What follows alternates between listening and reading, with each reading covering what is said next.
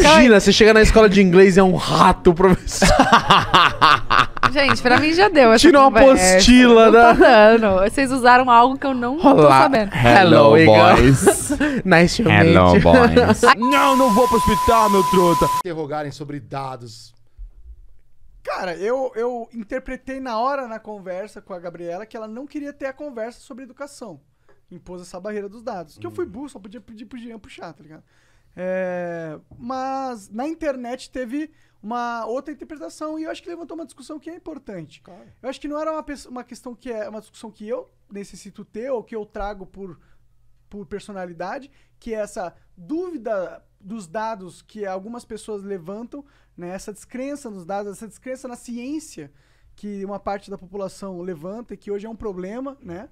É, eu acho que esse foi o meio que o assunto que foi levantado e no caso eu é, interpretava o papel do cara que duvidava dos dados ali na interpretação das pessoas, porque na verdade não é que eu estava duvidando dos dados ali, eu só estava sugerindo que uma conversa informal de bar não necessariamente precisa ocorrer com todos os fontes e dados ali do lado. A gente pode trocar uma ideia sobre o assunto. Só desenrolar, né? É, sim, falar o que pensa tal. E se a gente tiver errado, as pessoas ali podem pesquisar os dados, porque elas têm internet, têm Google, elas estão lá ao vivo, elas podem só pesquisar.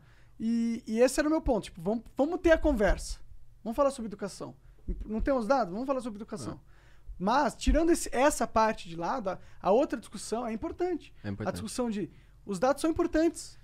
É importante a gente basar as nossas opiniões através de dados, porque os dados eles nos apontam é, pequenas imagens da realidade. Exato. E, e para mim esse é o ponto, que você tem que ter. é, a gente fala muito aquele jargão, né? Dados, informação e conhecimento. Você- o conhecimento é uma que avaliação ao longo do tempo de tantos dados que você já viu. A gente estava conversando sobre isso, que, por exemplo, dados. Estávamos. Você pode. É. No outro dia a gente, a gente conversou sobre isso. Qual? do- Dá um café aí, meu querido. que você Quer um pode. café, não? Eu quero. Ah, tá Que você pode é, falar a verdade e só dizer mentiras. Não, Ah, dizer mentira só falando verdades. A gente pode dizer mentira. Foi no nosso. É, tem um no nosso- vídeo aí que eu acho que o Nando Moura mostrou. de- Exato, do exatamente, Hitler, exatamente. Que você esse mesmo. pega todos os, os- quentinho, os um- feitos estatísticos que, ele, que alguém poderia interpretar de forma positiva pra ele, você joga na cara sem dizer quem é.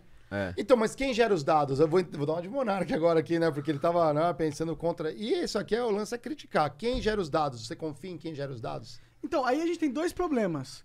Que é duas coisas. Um, o processo de geramento de dados, ou como a pesquisa é feita, porque dentro aí você pode ter erros que geram interpretações erradas, dados com Como são construídos, né? Sim. E aí você tem o segundo, a segundo problema que é, podem ser que tenha dados que foram feitos com pesquisas corretas, porém eles apontam apenas um- uma imagem da coisa, né?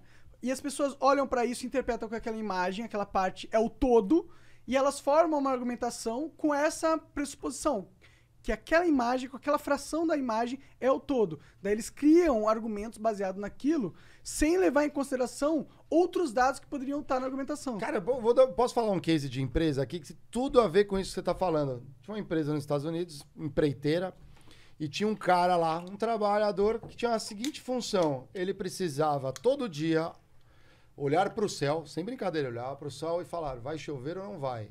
Aí, e aí, se não chovesse, vai estar tempo seco, pode concretar. Chamavam os caminhões. Você não concreta, meu irmão, não dá para o concreto ficar lá dentro, você perde o caminhão. E aí mandava concretar. Só que se ele falasse, manda concretar e chover, você perde o material. Aí até um, um- teve um advento que começou a surgir os programas de meteorologia. E aí ele só assistia um e ficava lá, vai chover, não vai, mandava concretar e funcionou por um bom tempo. Até que existiam vários canais de meteorologia. E esses canais, eram, sei lá, nove canais, diziam que vai chover. Mas o que ele assistia falava, não vai chover. E ele mandou concretar. E várias vezes, até ele descobrir que existiam vários canais. Esse lance da pesquisa é isso. Você- às vezes você tem um dado, mas tem vários outros dados que você não está Que olhando. outras O imagens. dado tá? tá É. uma merda. E aí sua empresa toma uma decisão. Baseado num dado de merda. Exatamente. Por isso que aqui a gente toma decisão no foda-se, moro? É tudo feito no. Bora fazer essa porra aí e o que depois. Vamos que O vamos. problema que der a gente resolve depois. A gente toma decisões aqui no Flow nos princípios. Os princípios guiam as decisões. Tô brincando. Na verdade, tudo parece sorte. é, parece que vai andando a culha, mas na verdade é planejado. Até certo ponto, pelo menos. É Porque, assim, planejado, não organizado. É, planejado, mas não é muito organizado.